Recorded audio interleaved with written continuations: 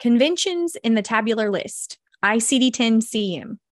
The conventions that we will go over today are the includes notes, excludes notes, and with code also and sequencing instructions. Where are conventions located? Coding conventions are found in the guidelines at the beginning of the ICD 10 CM code books. Some publishers include chapter specific guidelines at the beginning of each chapter. The official guidelines for coding and reporting can also be found on the CMS website at www.cms.gov. And you can also do a Google search for the official coding guidelines. Includes notes. Includes notes appear directly underneath a three character category to further define and give examples of the content that is included in the category. So, for example, the includes notes lists a number of conditions that are included in the category of K72. This means that the conditions listed in the includes notes may be coded with codes starting with K72. Inclusion terms. Inclusion terms are also common throughout the tabular list. These work similar to includes notes, but instead pertain to specific codes rather than a category of codes. Inclusion terms may be synonyms for the condition or a list of various conditions assigned to a specific code. So, for example, we have K75.0 abscess of liver, and you can see all of the inclusion terms. Um, this is not an exhaustive list, but you can see all of these terms that indicate that these conditions still fit within the code description. So it is still acceptable to assign this code. Excludes notes. Excludes notes are the opposite of includes notes. They are identifying conditions that are similar but independent of each other.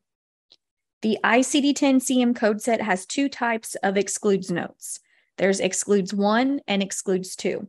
The excludes one note is a pure excludes note. And what I mean by this is that the condition listed under the excludes one note and the coded condition are mutually exclusive and should never be coded together.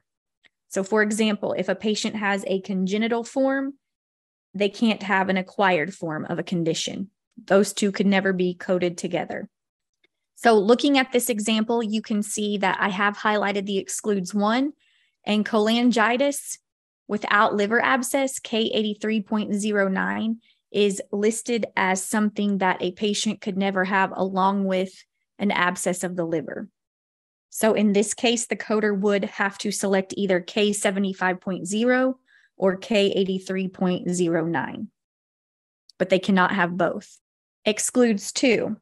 An excludes two note identifies conditions that are not included here. This means that if the patient had the condition located under the excludes two note, then they should code for that condition elsewhere. If the patient has both the condition within the excludes two note as well as the coded condition, then both of the codes may be reported together as appropriate. So in this example, I have highlighted the excludes two note, and you can see that acute or subacute hepatitis not otherwise specified B17.9 is an option. So for this example, the patient could have both an abscess of the liver and unspecified acute or subacute hepatitis.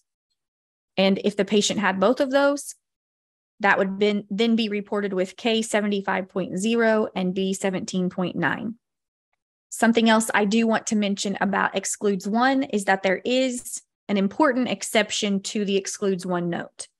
So coders may code for both conditions if they are unrelated to each other. The reason for this is that sometimes a diagnosis code is a general code for a condition that can manifest in multiple ways. And with code also and sequencing. Sequencing or placing the codes in a particular order is an important part of ICD 10 CM coding. When sequenced correctly, the diagnosis codes should tell the story of why the patient presented for treatment. Typically, when a patient has more than one healthcare condition, the diagnosis code primarily responsible for the services provided is sequenced before any others. If the patient has two or more diagnoses, each requiring the same amount of treatment or management, then either of the diagnoses may be sequenced first. However, there are a few conventions in the tabular list and the ICD 10 CM codebook that instruct coders how to sequence certain conditions and whether to include other codes to identify additional healthcare conditions. And these are and with code also and sequencing instructions. When referencing the tabular list to verify code selection, coders will encounter the term and, which should be interpreted to mean and or or.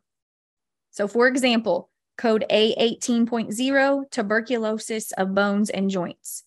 This can include tuberculosis of the bones, tuberculosis of the joints, or tuberculosis of the bones and joints.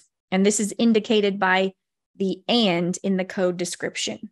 When the term with appears in the tabular, it should be interpreted to mean associated with or due to. The term presumes a causal relationship between the two conditions linked by the word with. So, for example, K71.1, toxic liver disease with hepatic necrosis. Um, this also codes for hepatic failure due to drugs as indicated by the word with.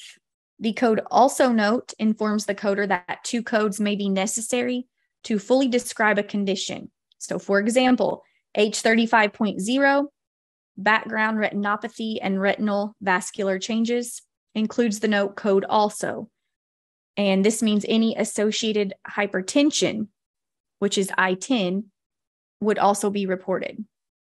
With the code also note for the H35.0, this note does not include sequencing instructions regarding which code should be listed first. So the coder is going to have to determine the sequencing of the two codes. And to determine the codes that should be sequenced first, the coder must read through the provider's documentation of the healthcare encounter and identify the primary diagnosis.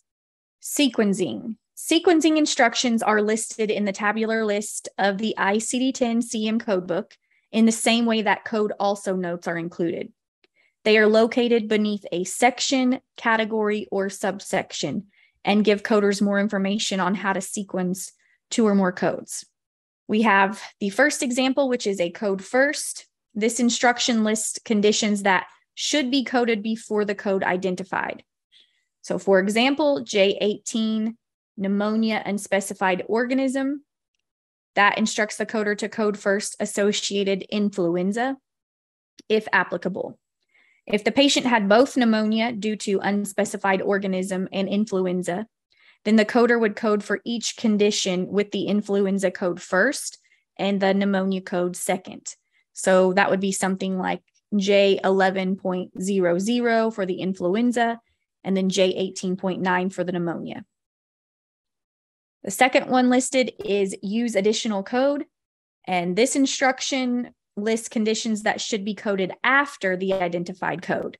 So, for example, there is a use additional code note under D57, sickle cell disorders, instructing the coder to use additional code for any associated fever.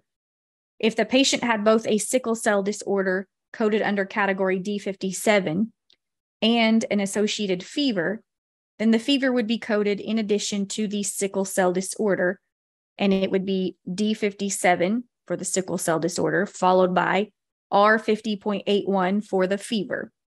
Thank you for watching. If you have any questions, feel free to email me at smc period academy period llc at gmail.com and make sure to check out my website to learn more about the CPC program that I am offering.